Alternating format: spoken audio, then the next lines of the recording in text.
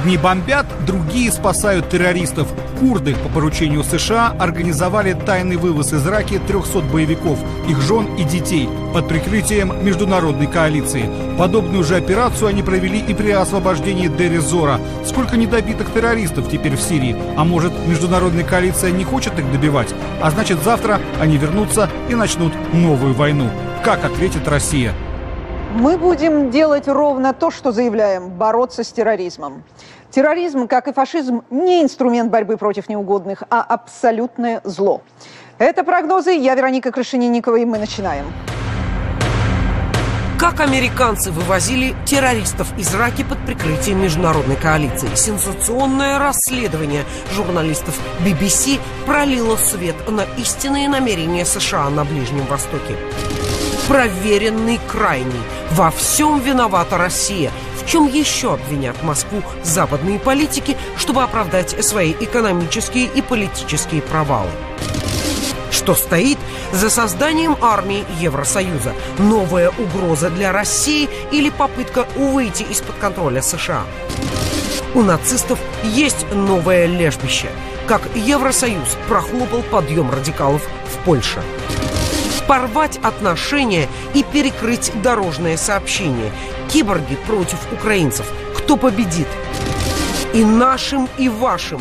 Армения хочет сблизиться с Евросоюзом, при этом оставаясь союзником России. Удастся ли сесть на два стула? Первый камень в строительство ядерного могильника заложен, кто превращает Украину в самого опасного европейского соседа.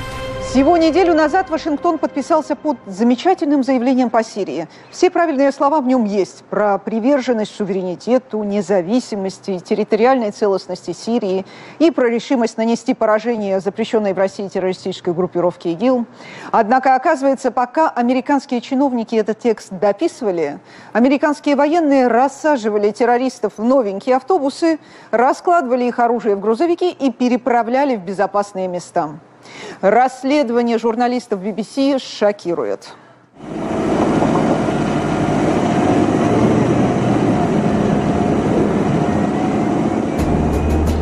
Во вторник британская телерадиокорпорация BBC вышла в эфир с сенсационным материалом. На кадрах, снятых в Сирии на мобильный телефон, видно, как из освобожденной Ираки выезжают грузовики, в кузовах которых сидят боевики ИГИЛ, группировки, запрещенные в России. Рака в прошлом неофициальная столица ИГИЛ. Телекомпания сообщила, что по свидетельству водителей, вывозивших из освобожденного города мирных жителей, среди них находились около 300 боевиков.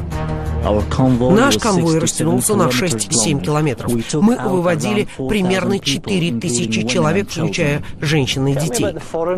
Расскажите мне об иностранцах, которые были в этих грузовиках. Откуда они? Из Франции, Турции, Азербайджана, Пакистана, Йемена, Саудовской Аравии, Китая, Индонезии, Туниса, Египта. Там было огромное количество иностранцев. Это не должно было выглядеть как победное шествие ИГИЛ. Поэтому курды настояли на том, чтобы не было флагов, растяжек. Вместо этого террористы ИГИЛ, скучая, сидели на грузовиках. Один грузовик был настолько перегружен оружием террористов, что сломался. Террористы вывезли с собой оружие. На многих были надеты пояса шахидов. Вывоз осуществляли арабо-курдские отряды так называемых сирийских демократических сил, которых поддерживают США. Турция называет их террористами, такими же, как ИГИЛ, а потому реакция Реджепа Эрдогана была крайне жесткой. Он считает неубедительными заверения Пентагона в том, что они не имеют отношения к выводу боевиков из Ирака. На журналистское расследование откликнулись и сирийские власти. Они заявили, что имеют информацию о том, что США при помощи курдов точно так же вывозили террористов ИГИЛ из освобожденного Деризора. Генсек ООН и председатель Совета Безопасности в курсе произошедшего, но пока они не дали никаких комментариев. Пентагон подтвердил уход из Раки порядка 300 боевиков ИГИЛ. Но уход этот, как объяснили американские военные, был частью сделки между курдами и городским советом. А войска коалиции не были стороной этой сделки. В мае глава Пентагона Джеймс Мэттис бил себя в грудь, утверждая, что борьба с исламским государством станет войной на уничтожение. Мы не допустим того, чтобы иностранные боевики выжили в боях, чтобы вернулись в Европу, Америку, Азию и Африку. Мы им этого не позволим.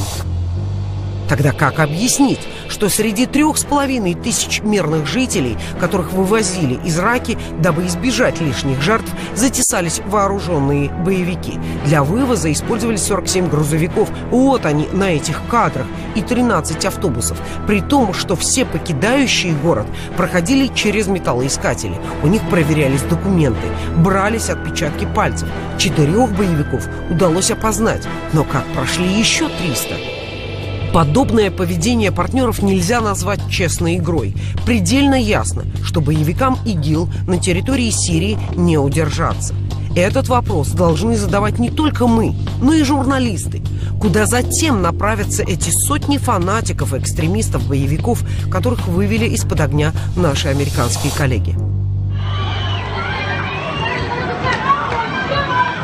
Ответ на этот вопрос написан кровью на мостовых Нью-Йорка, Бостона, Парижа, Ниццы, Кабула, Стамбула, Брюсселя, Лондона, Москвы.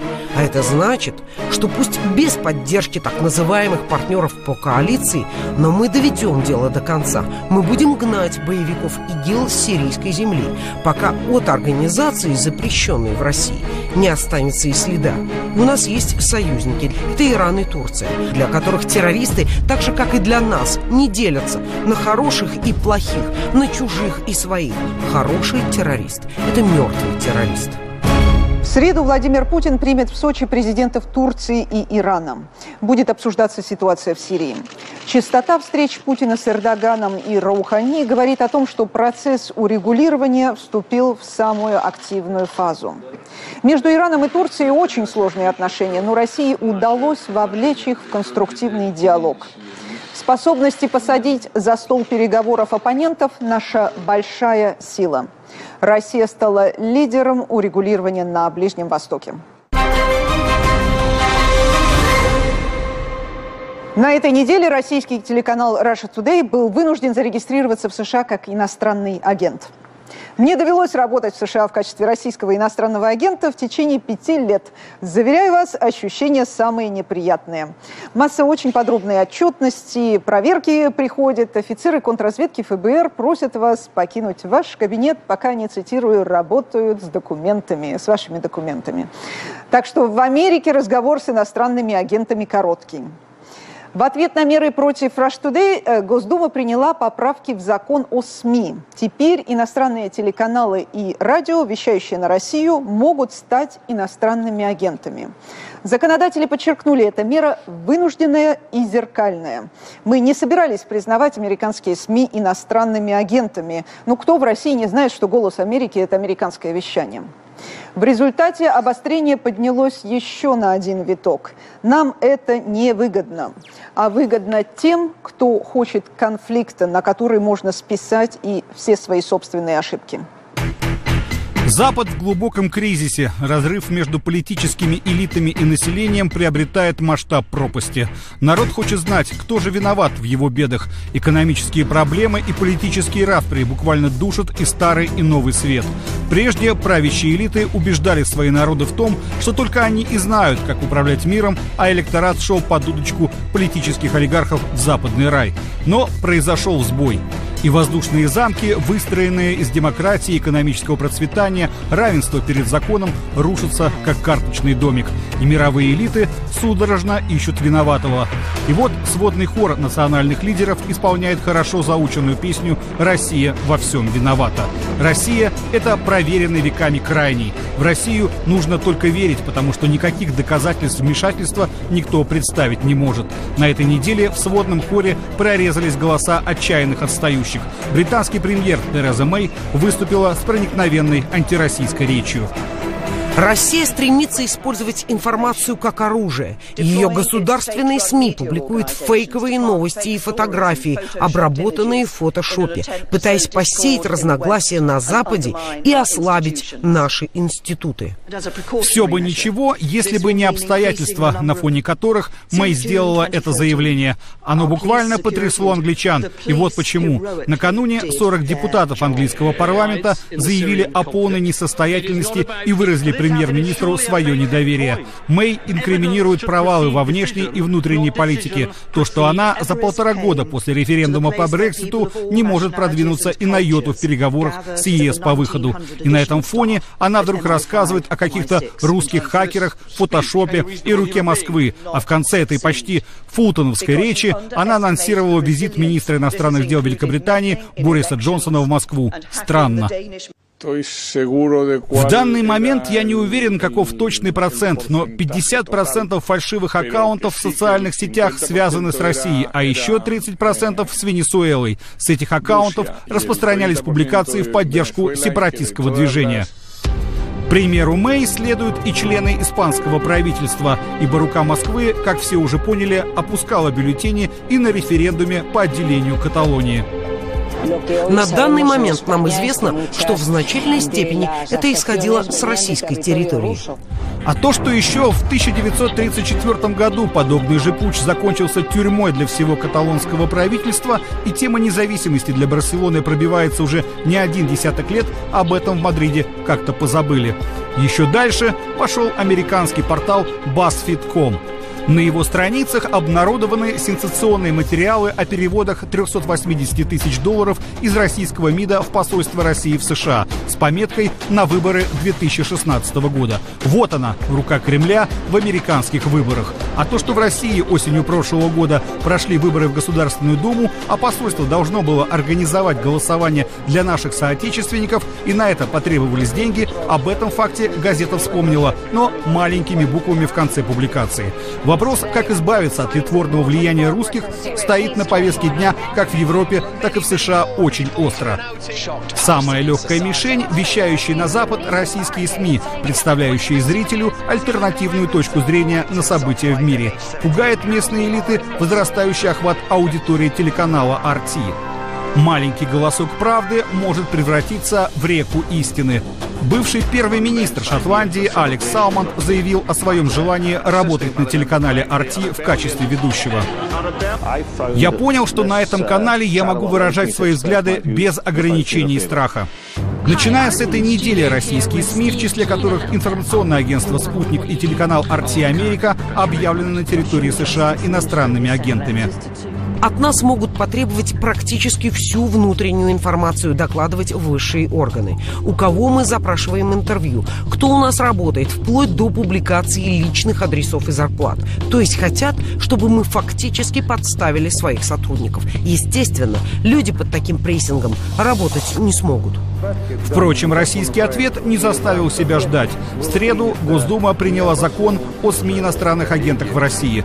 Однако вряд ли после этого Запад перестанет на нас давить. Зарубежные СМИ будут и дальше лепить из России главного врага, а сводный хор национальных лидеров разучивать новые песни из цикла «Рука Кремля». Ведь это куда проще, чем действительно решать собственные проблемы. А что стоит за этой истерией? Зачем ее нагнетают? Трамп – олицетворение самой агрессивной версии американского капитала. Вместе с ним пришли к власти самые захватнические военные и финансовые круги. Война – это самый быстрый способ обогащения, если ведется на чужой территории, как это всегда делают США. Знаете, иногда складывается впечатление, что Дональд своими обещаниями поладить обеспечивает прикрытие для агрессии. «Я хочу дружить, а мне не дают». Нет, Дональд и в теме, и в доле. Ему с его аппетитами и куш российской экономики тоже хочется поиметь. А Европа на грубый напор Дональда Трампа ответила весьма асимметрично. Трамп требовал от европейцев увеличить свои взносы в НАТО. Европейцы военные расходы увеличили, но решили сами ими распоряжаться. 23 страны Евросоюза подписали соглашение о постоянном структурированном сотрудничестве в области обороны, коротко ПЕСКО. Название сложное, но смысл простой. Это первые шаги по созданию европейской армии. Пока речь идет только об общей военной логистике и производстве вооружений. Что значит этот европейский военный проект? Надстройка к НАТО или европейцы все-таки пытаются уменьшить свою зависимость от Америки? Главный враг у армии ЕС, как и у НАТО, конечно же, Россия. На этой неделе президент Владимир Путин утвердил штатную численность российской армии. 1 миллион 902 тысячи человек. А если сложить численность всех армий стран-членов ЕС без Великобритании, будет примерно миллион семьсот тысяч. Это фактически паритет. А с учетом того, что среди стран ЕС есть и ядерная держава Франция, все это вызывает серьезное беспокойство. have never Мы никогда uh, прежде в ЕС не имели такого тесного сотрудничества в сфере безопасности и обороны. И в то же время никогда прежде сотрудничество между ЕС и НАТО не было на таком высоком уровне. И это является живым подтверждением тому, что оба процесса uh, кооперации могут прекрасно развиваться параллельно. Но могут ли? По мнению аналитиков, Европа делает первый и очень осторожный шаг в сторону от опеки своего большого заатлантического брата. Ускорил процесс создания армии ЕС выход из состава Союза Великобритании, которая препятствовала любой общей европейской оборонной политике, под тем предлогом, что это будет дублированием НАТО. Дополнительный стимул процессу придал приход в Белый дом Трампа. Он отчетливо дал понять европейцам, в деле обороны им следует рассчитывать лишь на собственные силы. К этому же призвал европейцев и Эммануэль Макрон, Единственный путь, который гарантирует наше будущее, это воссоздание независимой, единой и демократической Европы. Обновленная Европа, по словам Макрона, невозможна без единой армии. Что это значит? Сегодня почти каждая страна Европы имеет свою армию. Если государство является членом НАТО, то и ее армия подчиняется командованию Североатлантического альянса. Понятно, что первую скрипку в НАТО играют США с самым большим военным бюджетом, арсеналом и численностью войск. Что же влечет за собой создание армии ЕС? А вот что. О коллективном выходе ЕС из договора НАТО речи не идет и идти не может. Более того, национальные армии европейских государств не прирастут новыми дивизиями, действующими отдельно от общенатовских задач. Нет. Но по задумке руководства Евросоюза со временем все войска стран-членов ЕС будут иметь и второе, помимо руководства НАТО, командование войсками ЕС. И оно будет действовать сепаратно от НАТО, то есть выполнять те задачи, которые важны для стран Европы, а не для США. Новое соглашение позволит лучше координировать действия внутри Европы и быстрее решать вопросы, связанные с участием солдат Евросоюза в зарубежных акциях. Речь идет о том, что для европейцев архиважно создать милитаризованные полицейские структуры, которые бы охраняли внешние границы ЕС, но не от России или каких-то армий, а в первую очередь от беженцев. США не поможет Европе решить вопрос с мигрантами, а деятельность американских военных в Ливии, Сирии и Ираке как раз и вызвала тот небывалый поток беженцев, вместе с которыми в Европу проникли тысячи террористов из запрещенной в России организации ИГИЛ. Заменой НАТО европейская армия не может стать и в силу своего скромного бюджета – но может стать надстройкой. В этом году Европейский оборонный фонд составил 25 миллионов евро. Но после 2020 года бюджет армии ЕС планируется увеличить в 220 раз до 5,5 миллиардов евро. Эти деньги пойдут и на новое вооружение, которое будет сосредоточено у наших границ. Если усиление уже действующих войск пойдет такими же темпами, то со временем армия ЕС под собственным командованием превратится в серьезную угрозу нашей безопасности. Прогноз может быть таким. Создание армии ЕС – дело далекого будущего. И если экономический и политический кризис в Европе усугубится, то западным лидерам придется решать насущные проблемы, а не играть мускулами и пытаться уйти из-под контроля Вашингтона. Тем более, что это им никто не даст сделать. Но нам нужно держать ухо востро и ни в коем случае не расслабляться расслабляться. НАТО или армия Евросоюза дело вовсе не в том, как будет называться военная сила, расположенная на наших западных границах, а в том, на кого она будет нацелена. Мы будем следить за формированием европейских военных сил. А тем временем в Европейский Союз собирается войти, кто бы вы думали? Совсем неожиданный ответ. Армения – Да-да, та, которая является членом Евразийского экономического союза, членом УДКБ, наш главный союзник в Закавказье. Через 10 дней в Брюсселе на саммите Восточного партнерства Армения подпишет соглашение о всеобъемлющем и расширенном партнерстве с Евросоюзом. Как и Украина, Армения впрягается в политический диалог, так это у них называется, с Евросоюзом, который, цитирую, повысит эффективность политического сотрудничества во внешней политике и в вопросах обороны. Ассоциация с Евросоюзом не единственное, что Армения делает как Украина. В это сложно поверить, но Ереван тоже героизирует пособников фашизма. Так, в мае 2016 года в Ереване был поставлен памятник Горегину Нажде. Это такой армянский Бандера. В 1942 году Нажде обратился к Третьему Рейху с просьбой превратить советскую Армению в германскую колонию. Именно он создавал армянский легион СС и убеждал военнопленных армян. Кто погибает за Германию, тот погибает за Армению. Этот памятник – глубочайшее оскорбление всему армянскому народу, который мужественно сражался на фронтах Великой Отечественной. 106 армян – герои Советского Союза. Нонжде – герой для правящей республиканской партии Армении с ее идеологией национал-консерватизма. Вот такой логотип имеет партия. Ничего не напоминает? Вот и мне он напомнил символику Третьего Рейха. Недавно мне довелось встретиться с руководством Республиканской партии Армении. На мой вопрос о логотипе, вы не поверите, один из руководителей подтвердил, да, мы арийцы. Похоже, мы что-то не знаем про отдельных представителей правящих кругов Армении. Неужели они собираются повести Армению по пути Украины?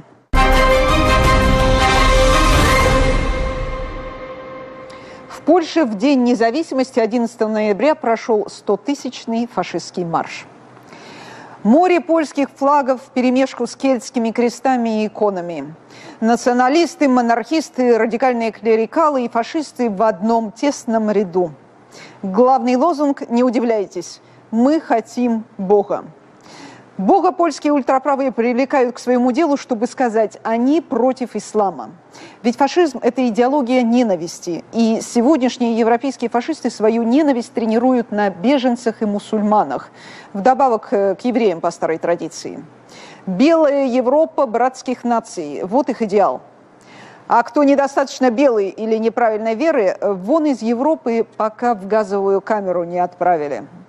Стотысячный марш радикальных националистов в самом центре европейской столицы. Такого в Евросоюзе еще не видели.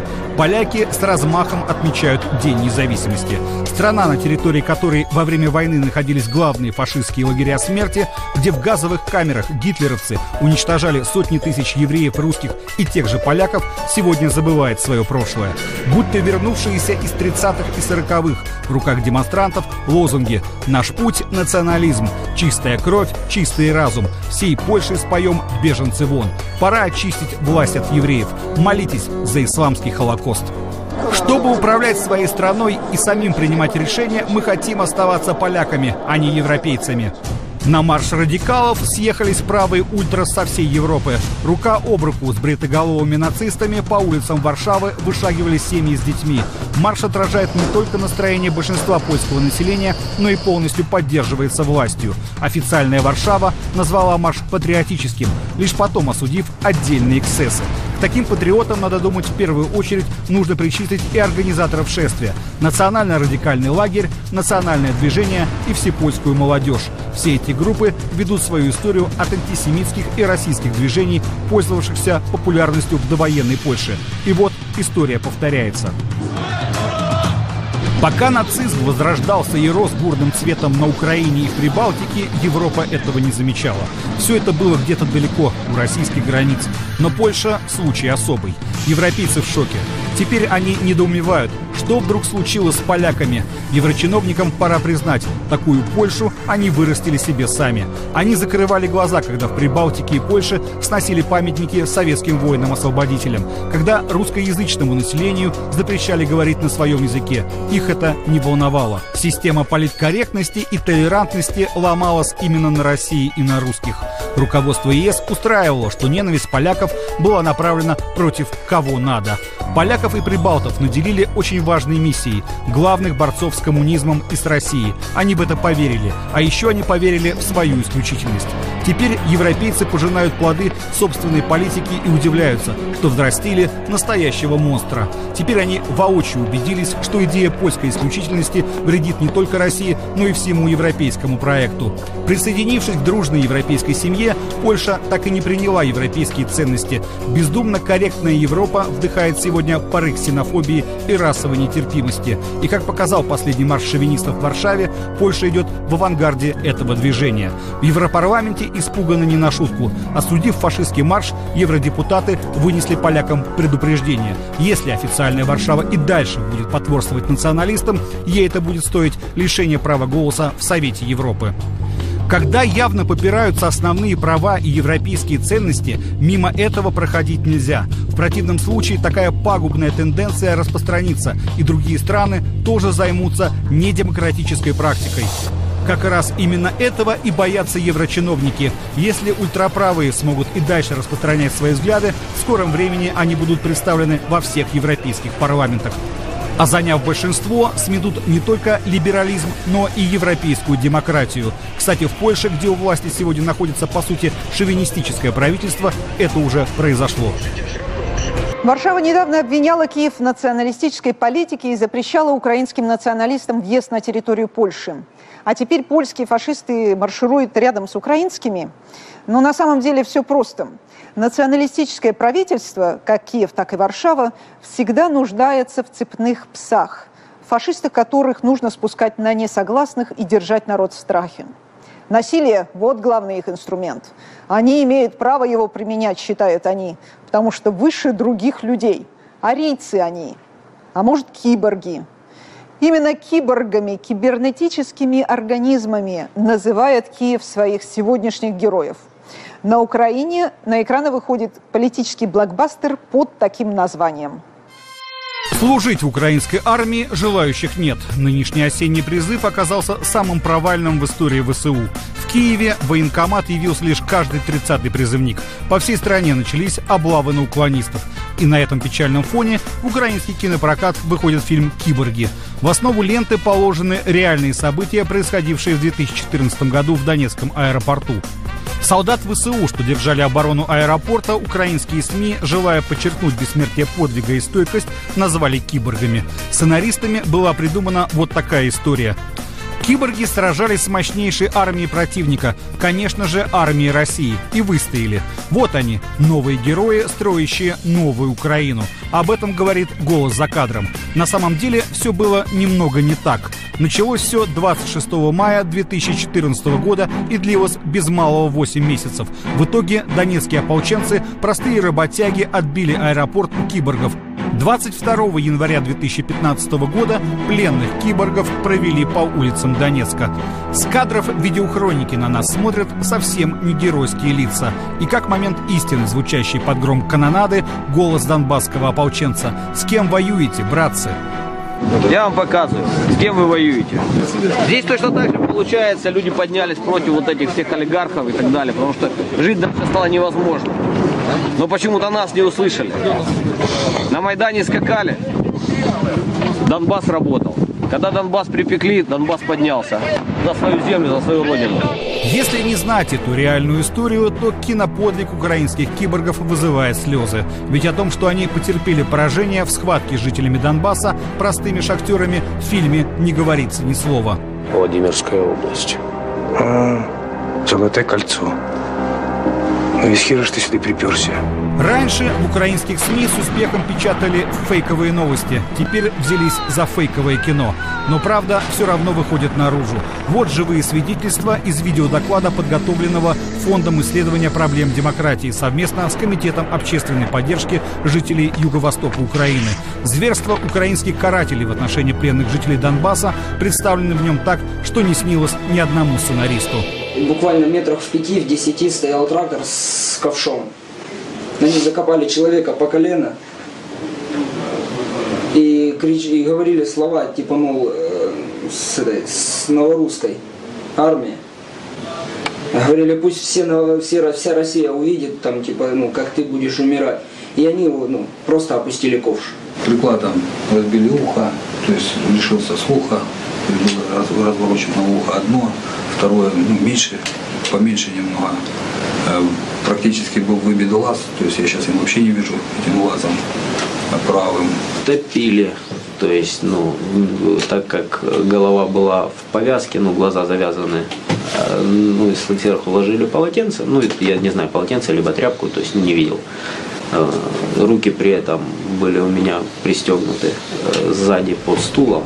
Выход трейлера фильма «Киборги» совпал с очередным обострением в Киеве. На этой неделе лидер всеукраинской партии «Братство», а по совместительству главарь националистического батальона «Святая Мария» Дмитрий Корчинский призвал к открытой войне с северным соседом. Никаких компромиссов по Донбассу быть не может. Мы должны воевать. Нации, которые хотят остановить войну любым способом, исчезают. Мы должны воевать и отомстить врагу. Мы должны перенести войну на территорию России. Только таким образом мы сможем выжить.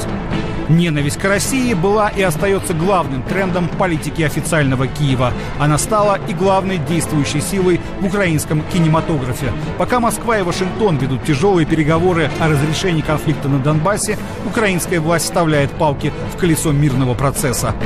В стенах Верховной Рады уже на полном серьезе обсуждают тему разрыва с Москвой дипломатических отношений, а горячие головы предлагают полностью прекратить с Россией и транспортное сообщение.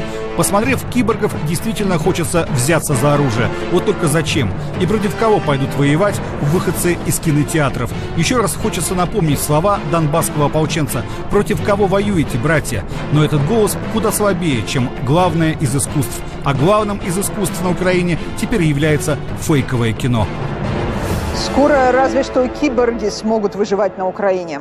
Наблюдатели ОБСЕ и координатор Комитета ООН по гуманитарным вопросам на Украине сообщают прессе.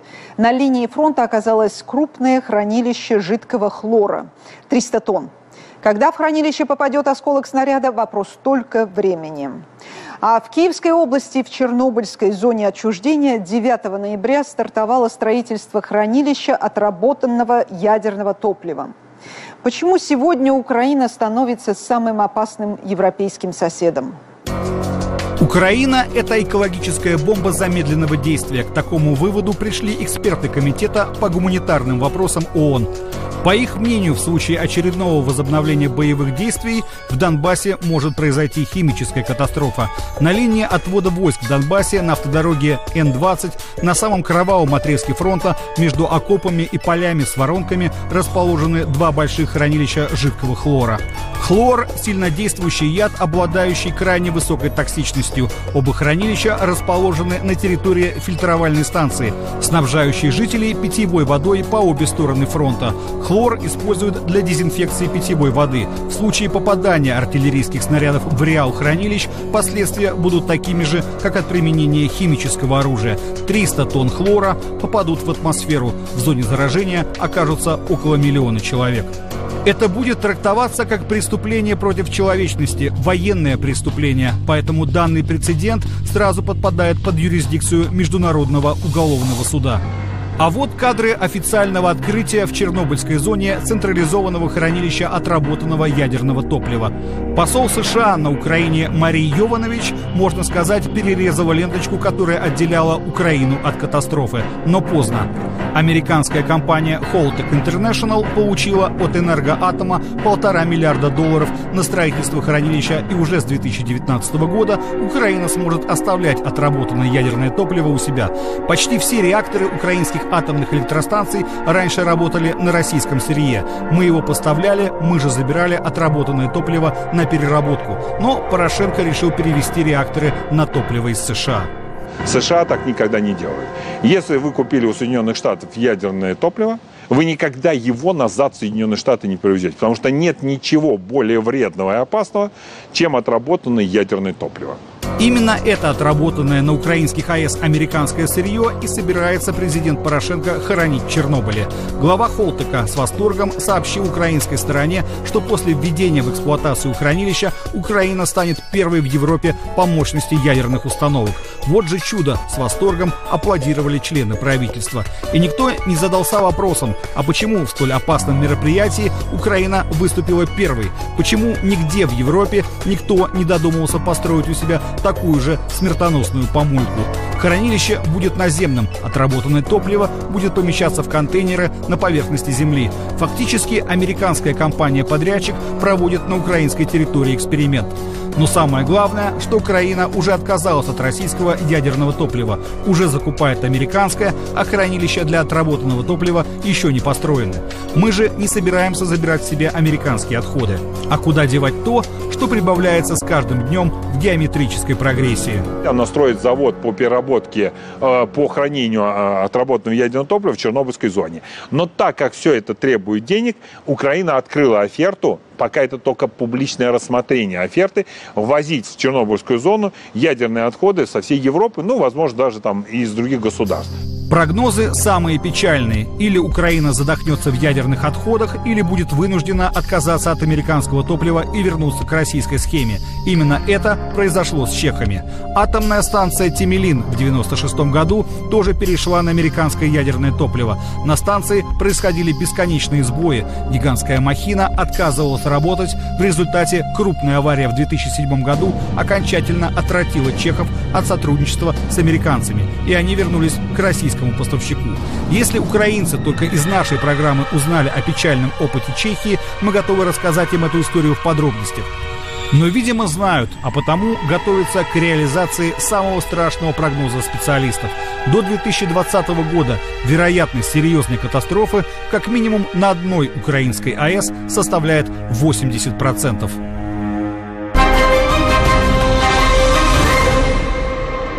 И вот какие прогнозы получились у нас сегодня. Тема российского вмешательства будет все активнее эксплуатироваться на Западе. Россия вместе с Ираном и Турцией подготовит начало мирного урегулирования в Сирии. Процесс создания армии Евросоюза займет много лет. В Польше будут расти ультранационалистические настроения. А Армения подпишет соглашение о партнерстве с Евросоюзом. С вами была программа «Прогнозы» и я, Вероника Крашенинникова.